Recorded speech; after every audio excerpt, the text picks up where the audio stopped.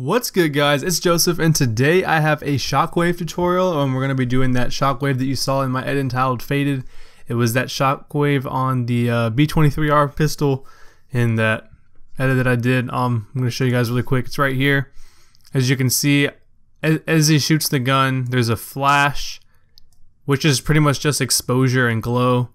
And then we have the shockwave, which is pretty much just a displacement map with the shockwave overlay pretty much on top of it. That's all. That's pretty much all we need for this tutorial.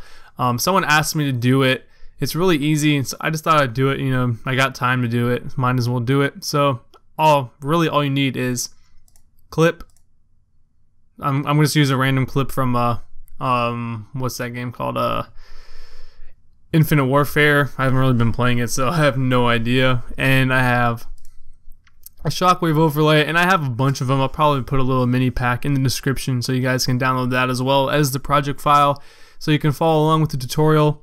And then if this video hasn't gone up by the time I've hit 6,000 subscribers I'm really close to it and you know I want to thank you guys in, in advance for that. It's pretty crazy. It's a pretty big number for me.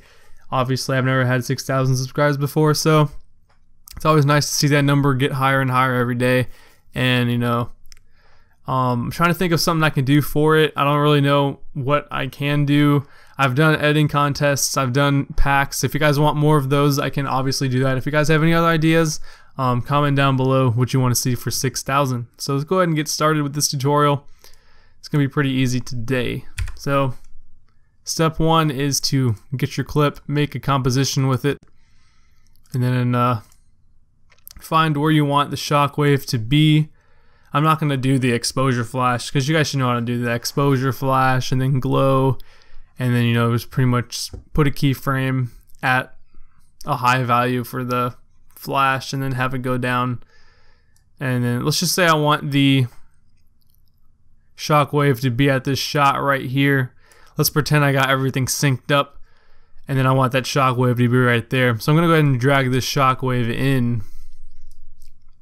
And obviously can't really see it. There we go. It's because it's un it's under the clip, so that's not really gonna matter. I'm just gonna go ahead and shut it off. What we're gonna want to do now is make a new adjustment layer by pressing Control Alt Y or going to Layer New and Adjustment Layer, and then we're gonna go and go into Effects and Presets, and then type in Displacement Map. It's not a third-party plugin, so you should be you should have it and then it should be right here displacement map. And then what you want to do displacement map layer change that from adjustment layer 1 to the shockwave layer. So that's gonna pretty much you like use the shockwave to displace it. And pretty much what I did I don't know if it's this is the like exact way to do it. And I don't know what just popped up on my screen there. But I kind of moved these around until I found something that worked for me. You can click wrap, wrap pixels around and then drag it until you fit it into your scene, sort of, if that makes sense, until it looks normal. I'm just gonna keep doing this, you know, dragging it. Okay, so I dragged it this way and I pretty much just like kept dragging it until I found something that looked cool to me. So now if we see, if we move the shockwave, the displacement moves with it. And like I said, if it's kind of confusing, go ahead and rewatch what I did. So let's say I want the effect to start right here at this shot. What I would do is I would go onto the adjustment layer and uh, press Alt and then the left square bracket key right next to the P key on the keyboard. And then I'll move this shockwave to the very start of it. And so now we have no, we have no displacement, shoots it, we got the shockwave, and that's pretty much it. And then if you wanted to make it go faster, you can like go into the shockwave and then enable time remapping on it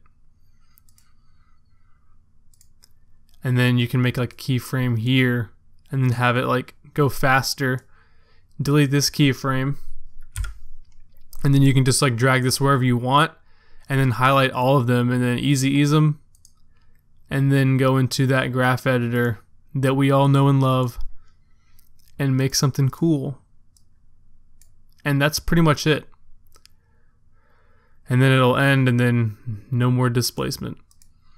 And that's pretty much it. Like honestly, it's a really easy thing to do.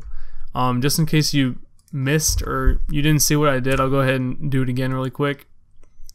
Um, pretty much just grab the shockwave and I'll have a pack of these in the description if you don't have any. And it's right here. It's an overlay too, and you can just shut it off. And then after you do that, drag it in the displacement map. Wait, no. After you do that, make an adjustment layer on top of the clip. And then go ahead and drag in a displacement map.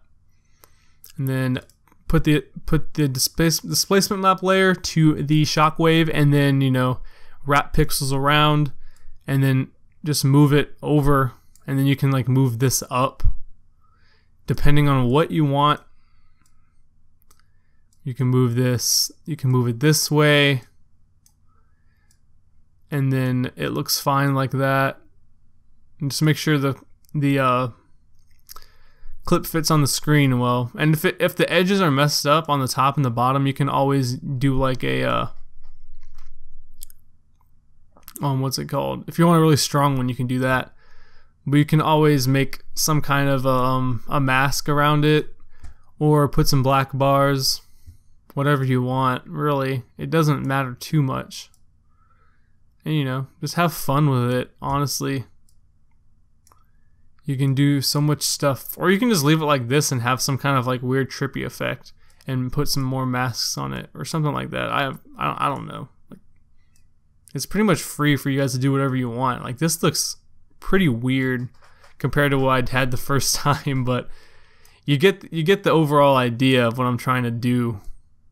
See that there there it is. Like it looks better when it's like subtle and you can barely see it cuz then you can enhance it with other other things. So it's pretty easy tutorial if you guys learn anything. You guys probably know how to use the displacement map better than I do, but I decided I would go ahead and do it. And um, anyways, thanks for 6,000 subscribers. I'm going to try to make a video for that and try to get some kind of free stuff out there for you guys because I know you guys love free stuff. Who doesn't? So if you guys have any questions, go ahead and comment down below or my DMs are open on Twitter. Um, other than that, if you guys have any uh, other questions, my email is in the description. Um, other than that, I hope you guys have a great rest of the day. I'm out. Peace.